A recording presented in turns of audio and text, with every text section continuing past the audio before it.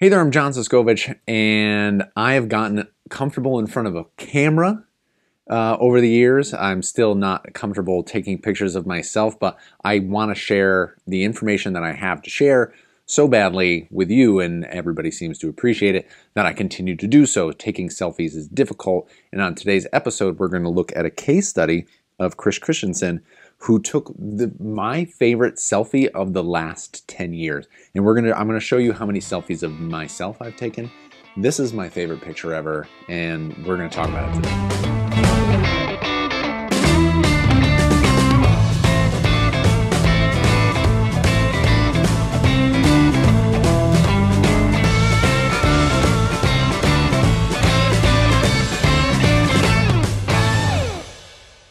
All right, so before we even get into the, how wonderful that picture is, I asked Chris uh, if he, or I asked the general audience if they would submit a paragraph about their farm and a couple photos to back up the fact that they bought a chicken tractor book, they built the chicken tractors, they raised chickens in it, and they happened to take photographs that they could share. You never know where the value is going to come when you take a photograph. If a picture is worth a thousand words, I've got 5,000 words to share with you today. Uh, so Chris started in the brooder and he had those little fuzzy baby chicks and was able to it's a low light photo this bird's a little blurry this guy's in focus. It's great. Let's see if we can edit it just a touch. We're going to hit automatic. It brings up everything a little bit brings our whites out gives us some contrast and cleans up this bird just a little bit. Now this bird looks like it's going a little cockeyed um, so what we're going to do is just take our cropping, straighten it out just a little bit. So this bird right here, our focus, and we're going to let's crop down to a square. And that diminishes our blurry bird right here by starting to crop them out. But I don't want to lose this guy because it's super fun. It goes from a bird to I'm a bird. You know, look at this. I'm a bird. Proud to be a bird. Love it. Love it. I'm a bird. I'm a bird. It's great. And uh, Chris got to capture this moment. You can see shavings. You can see some construction. It's just, here's a cute baby bird. Our season's starting up. Boom. Bird selfie. Here we go. We're going to cancel, discard our changes, back right out, and then go over to our chicken tractor picture. Shows fields beyond the, the grass that the birds are on, tells a story. I'm sorry, Chris, may not be the best picture in the world, but it is a good picture in that it exists and you're able to use it to tell a story. Everybody can be a photographer. All you need is a phone these days to be a talented photographer. I'll, i shoot a lot of my marketing photography and general photos on my cell phone. This is the iPhone 10. I'm dreaming about a 12, but I'm waiting uh, till it gets cheaper. Um, and it exists, so it's great. So this video is about taking selfies. Now, when you're taking a picture of yourself, you don't have to stand there and look at the camera and try to fake a smile. There are a lot of things you can do to make that easier. And one of them is having somebody else take a picture of you. That counts as a selfie.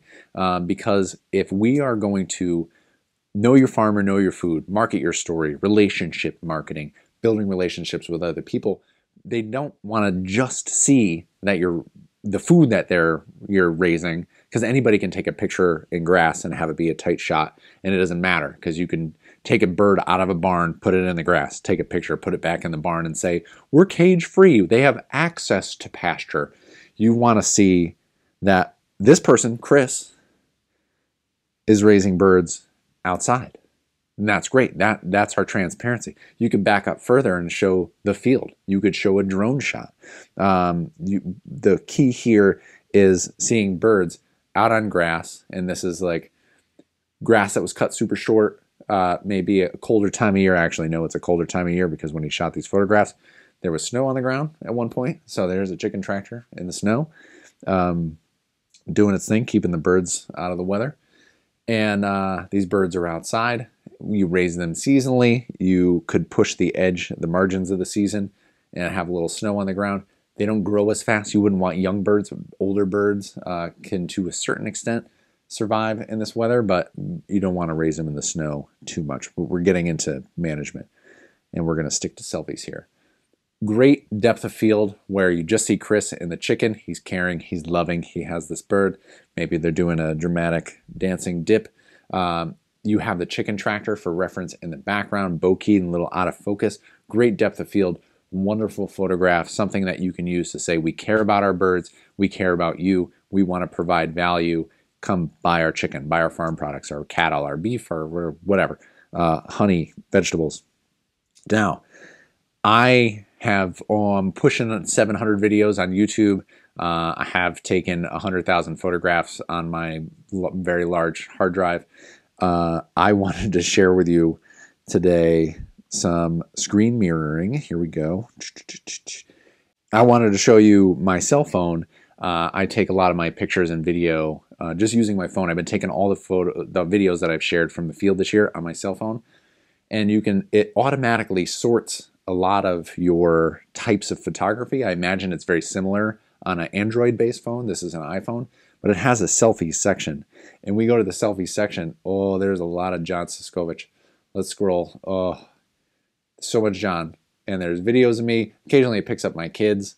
Uh, there's me like I'm holding a duck and the duck is not cooperating and I'm trying desperately to like smile, hold the duck, hold the camera, yay, I love this. The sun is shining. The duck is like, I don't want to be held right now. But I took multiple photographs. Ooh, that was nice.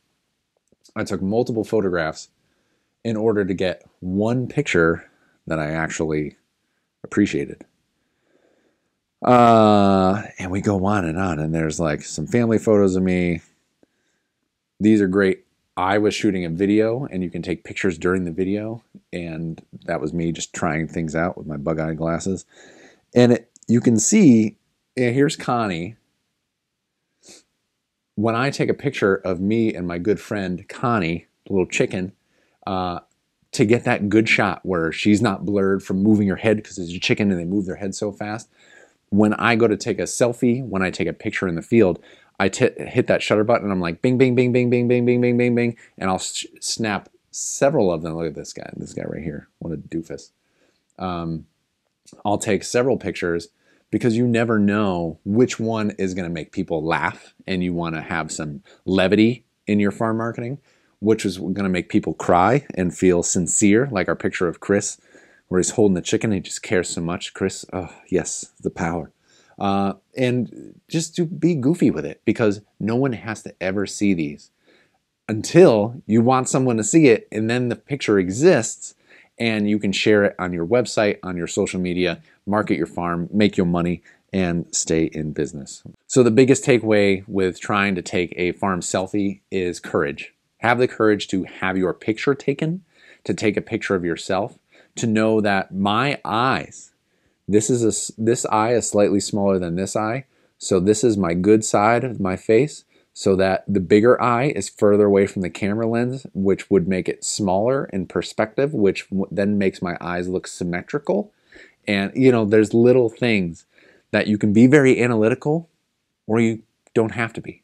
I wear sunglasses, so I don't have to think about my eyes at all. And I'd rather deal with the cheap $15 sunglasses being on screen than my eyes. I'm not insecure about my eyes. I don't even know why I brought this up, but take pictures of yourself share them, know your farmer, know your food, show people that you care, show your customers who they're building a relationship with, and that will help your farm marketing dramatically.